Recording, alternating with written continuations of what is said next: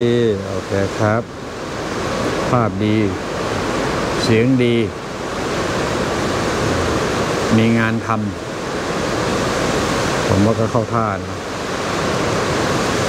ภาพดีเสียงดี มีงานทำ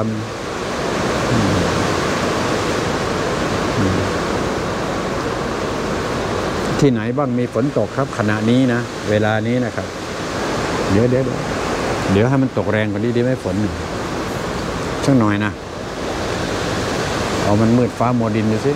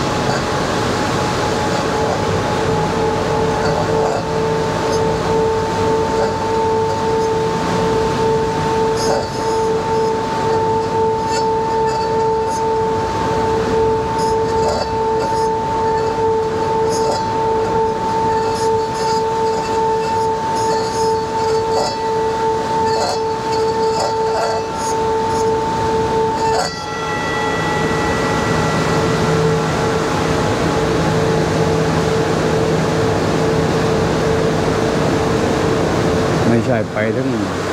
เหมือนปีห้าสี่แล้วยุ่งอยู่เนี่ยเวลาฝนตกน้ำท่วมนึกถึง เคยพิษณุโลกฝนตกไปปรอย นี่เห็นไหมบอกแล้วไง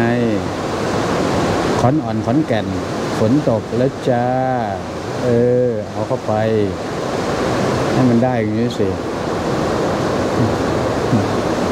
เอาเข้าไป เอาเข้าไปมีอื่นอีกไหม เออ เออ ให้มันได้อย่างนี้สิโยม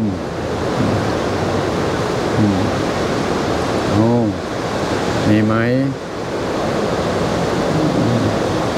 สวนหลวงยังไม่ตกมีลมแรงพอสมควรอืมลำพูนตกแล้วจ้า ไหน เอาเข้าไป เอาเข้าไปนะอีกสักตั้งดูสิเผื่อมันตก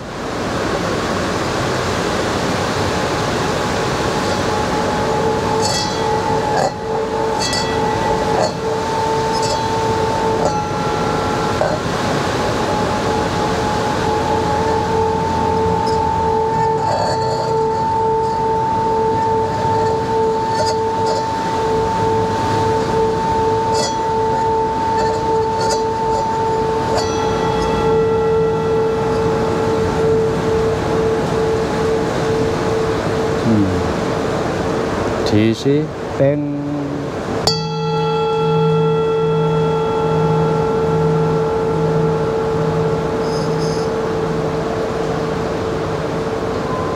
อีกทีสิ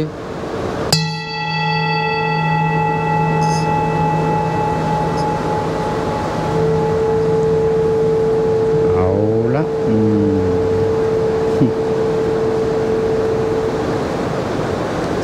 อ้าว เอเชียทรีตเจริญกรุง ฝนกำลังตกอีกแล้วจ้าห้วยอะไรมันจะขนาดนั้นอืมเอาเข้าไปเอาอยากจะตกก็ตกทั้งนั้นไม่อยากตกก็อย่าตกเป็นเงินไปเอาล่ะ กลับมาถึง พอจะเป็นเนื้อหาสาระกันได้ไหมเนี่ย มันมีคำหนึ่งนะ ในตลาดสด ตลาดแห้งความจริงวันนี้ได้คุยกับผู้ที่สูงวัยท่านหนึ่งที่มาที่นี่นะฮะมากับกับลูก ลูกชาย ลูกสาว ลูกสะพ้ยทั้งหมดสี่ชีวิตนะครับ ลูกก็บอกว่าแม่เนี่ย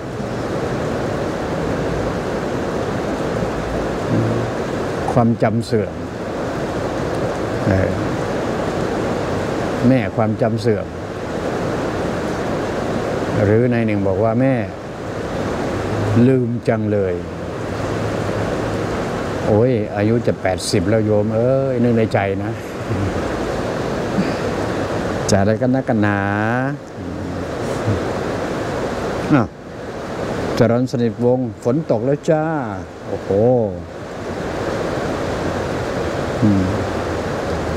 เอาเพชรบุรี อยากได้ฝนบ้างเอาเดี๋ยวมันก็ตกล้อฝนน่ะเวลามันตกมันตึมตำเลยนะฝน มันไม่ได้ฟังเสียง AM FM นะ อ่าเอาเรื่องของความจำเสื่อมผมเลยบอกว่า อายุขนาดนี้ฟังดีนะฮะ ตรงนี้ค่อยๆฟังครับเรื่องนี้มันเป็นเรื่องที่ มันสวนกระแสโลกพอสมควรนะ ที่จะเล่าให้ฟังตรงนี้นะครับทำไมมนุษย์จึงอยากจะให้จำจังเด็กๆนะใช่ ต้องฝึกให้ลูกหลานจำรู้เร็ว เข้าใจเร็วจำเร็วจำได้นานๆนั่นนะฮะเด็กเก่ง รู้เร็วจำเร็วจำได้นานนั่นคนเก่ง แต่เวลาคนแก่ทีนี้ฮะรู้เร็ว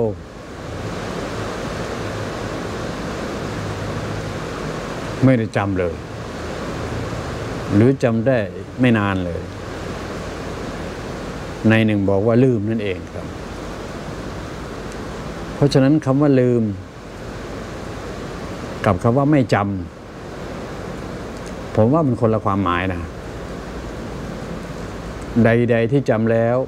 จะไม่ลืม อะ ลองทดสอบนะ มีผู้สูงวัยอยู่ที่บ้านท่าน คนแก่คนแก่ สวสว ลองทดสอบดูสิว่ามา